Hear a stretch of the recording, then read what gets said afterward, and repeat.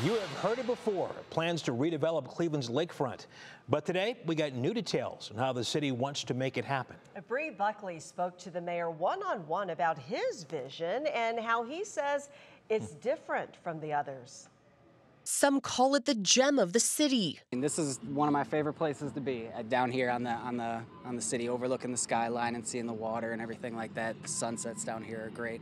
But others say Cleveland's lakefront is highly underutilized. I think that our waterfront is probably our best asset. I think that it is the beauty of Cleveland, and I really am sad that we don't do more here. Mayor Justin Bibb hoping to change that, sending out a call for consultants to create a master plan for the North Coast lakefront. This has to be about the people of Cleveland.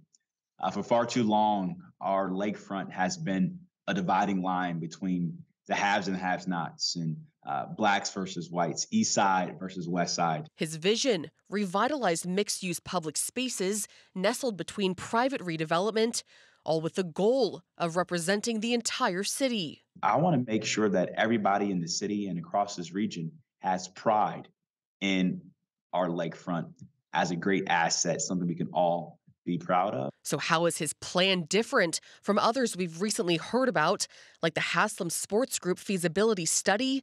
This plan will span 150 acres from West 6th to East 18th, from Lakeside Avenue to the waterfront, with Bibb telling me he wants feedback from the community to fuel the future.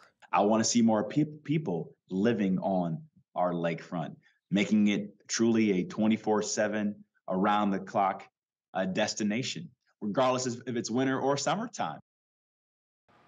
Now it'll be about a year before we see a master plan. Then the search for funding will begin. Another interesting takeaway from my conversation with the mayor, he tells me they will look at the feasibility of closing Burke Lakefront Airport and what the economic impact of that could be. Russ? Well, this is certainly more than the third time, but hopefully this is the charm here. Hopefully. Bree Buckley, thank you.